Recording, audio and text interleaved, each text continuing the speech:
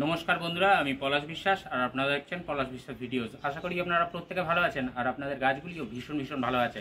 তো বন্ধুরা, আজকে যে থামলা টাইটেল দেখে নিশ্চয়ই বুঝে গেছেন যে কোন জিনিসটা নিয়ে আজকের আপনাদের সার মানে যে সারটি তৈরি করব সেটি আপনারাও অতি সহজেই করতে পারবেন এবং আপনারা করুন, এইভাবে আমি যেভাবে দেখাচ্ছি, প্রত্যেকটা গাছ কথা বলবে হ্যাঁ কারণ প্রচণ্ড গতিতে যেমন বৃদ্ধি পাবে গাছগুলো, তেমনই খুব সুন্দরভাবে ফুল এবং ফলে ভরে যাবে আপনার বাগান। আপনারা শীতকালে গাছ করি আমরা যারা, তারা কিন্তু খুব দ্রুত গাছ বৃদ্ধি করার দিকে মাথায় খেয়াল রাখি। কিন্তু সেই খেয়াল রাখতে গিয়ে অনেক সময় খাবার বেশি পরিমাণে দিয়ে ফেলি। কিন্তু আমি যে খাবারটি আজকে দেখাবো, যে তরল সারটি দেখাবো, সেটি আপনারাও করুন। হ্যাঁ এই মাছ, মাছের যে এইভাবে মাছ পচিয়ে তার জল যেভাবে আমি ডিটেলসে দেখাতে চলেছি, সেইভাবে আপনারা দেখান, আপনারা করুন।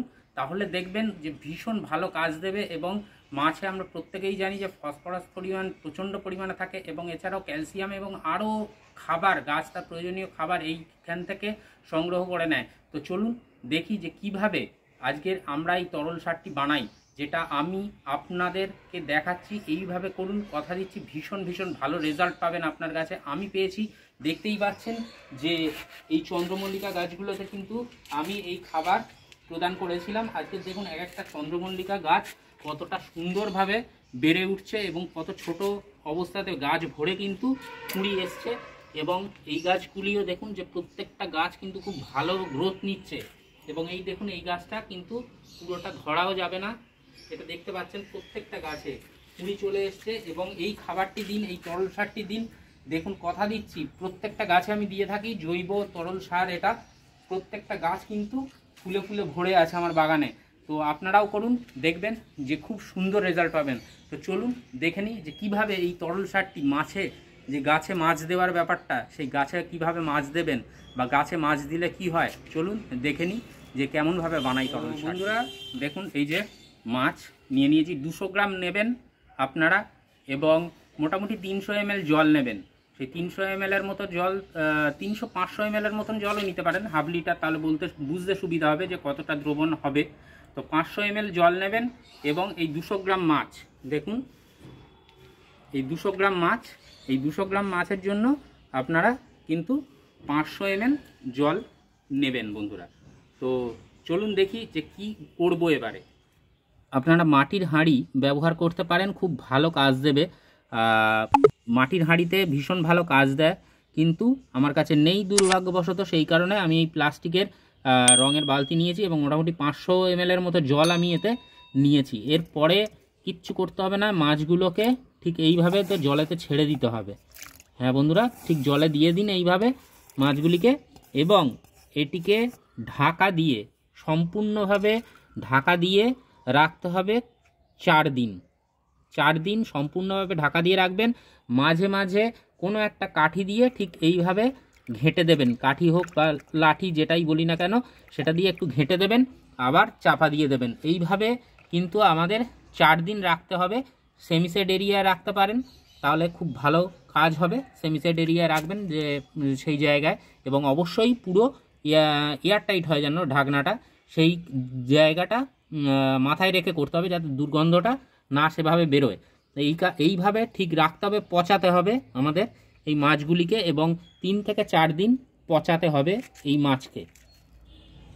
এরপরে বন্ধুরা, ঠিক এইভাবে ঢাকা দিয়ে আমরা কিন্তু এটাকে পচতে দেব এবং এটা পচবে, যেটা বললাম যে চার দিন পচবে, তারপরে কি করব আমরা সেটা নিয়ে চার দিন পরে ফেরত আসছি এবং প্রত্যেক দিন যেটা বললাম বন্ধুরা যে একবার করে কিন্তু এটাকে লাঠি দিয়ে নাড়িয়ে দিতে হবে বা ঘেঁটে দিতে হবে। তো চার দিন পরে ফিরত চলে এলাম বন্ধুরা, দেখতেই পাচ্ছেন যে মাছগুলি কিন্তু সম্পূর্ণভাবে পচে গেছে এবং মাছগুলির মধ্যে পোকাও চলে এসেছে। তো আমরা যেটা করব, এই যে একটি আমি বালতি নিয়েছি, সেই বালতির হাফ বালতি জল আমি নিয়েছি এবং সেই জলের সাথে কিন্তু এই মাছের যে পচানোর পরে যে তরল সারটা, সেটা আমি ছাঁকনি দিয়ে জলটা নিয়ে নেব। আপনারাও এটা করবেন। তো এইভাবে ছেঁকে নিয়ে জলের সাথে মিশিয়ে নেবেন। তার কারণটা হচ্ছে সরাসরি কিন্তু আমরা একে দেব না।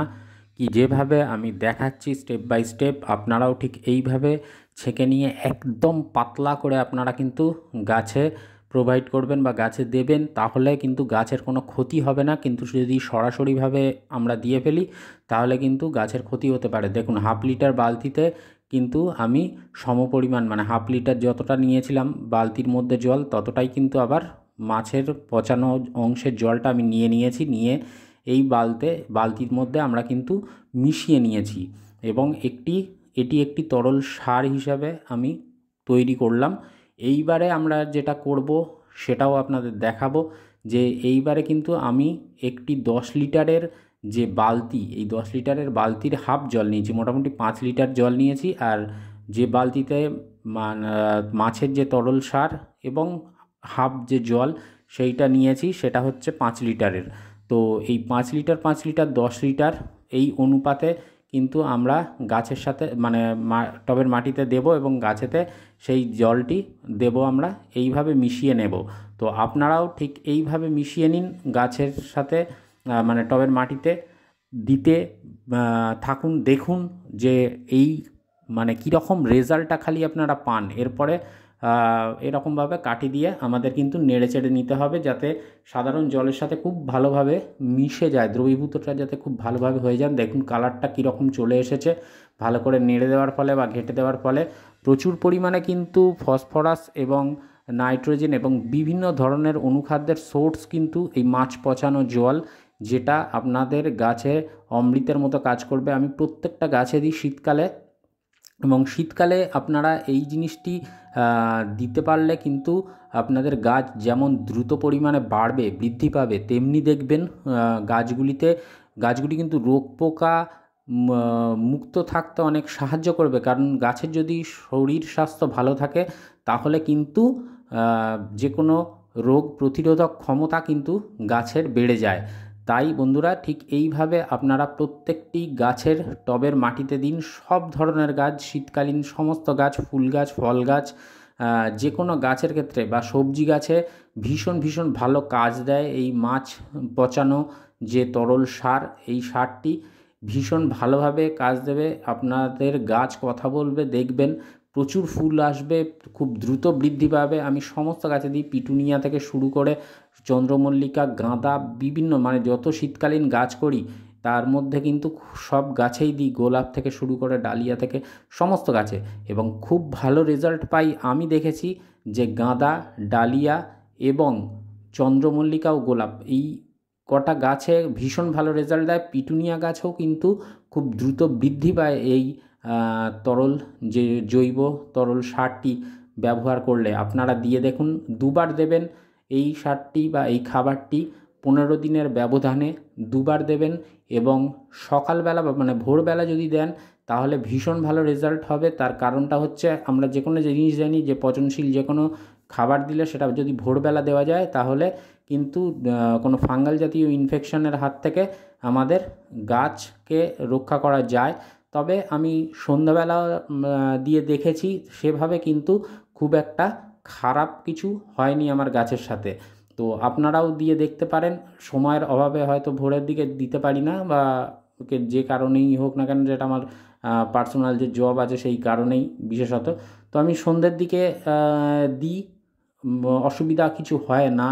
তো আপনারা আপনাদের বলব যদি সময় থাকে আপনারা ভোরবেলায় দিন দিন রেজাল্টটা আরও বেটার পাবেন।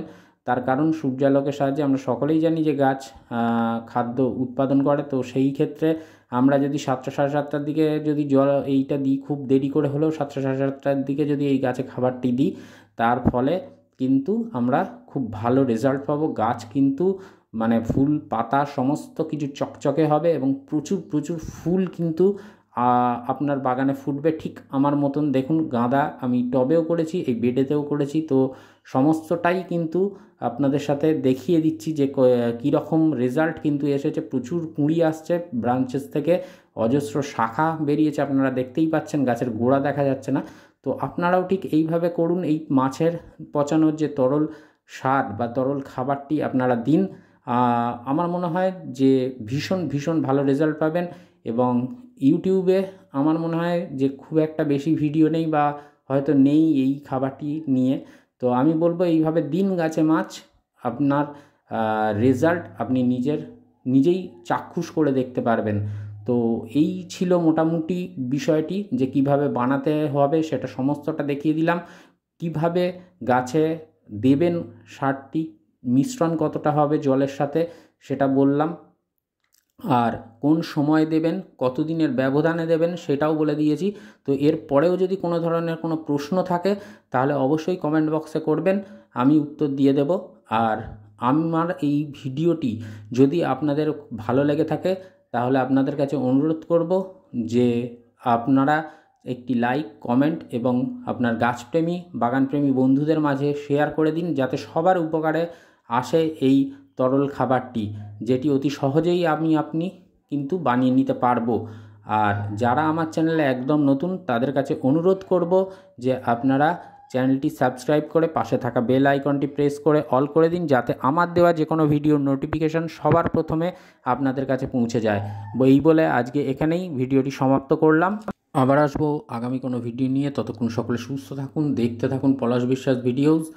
আর অবশ্যই প্রচুর গাছ লাগান, কারণ গাছ যে আমাদের অক্সিজেন দেয় তা বলার অপেক্ষা রাখে না। প্রত্যেকের মন, শরীর, স্বাস্থ্য ভালো রাখতে এবং আমাদের কথা ভেবে তো অবশ্যই আমাদের ভবিষ্যৎ প্রজন্মের কথা ভেবে যাদের বাড়িতে যতটুকু জায়গা আছে আমাদের কিন্তু বাগান করতে হবে বন্ধুরা। তো আজকে এই পর্যন্তই, নমস্কার।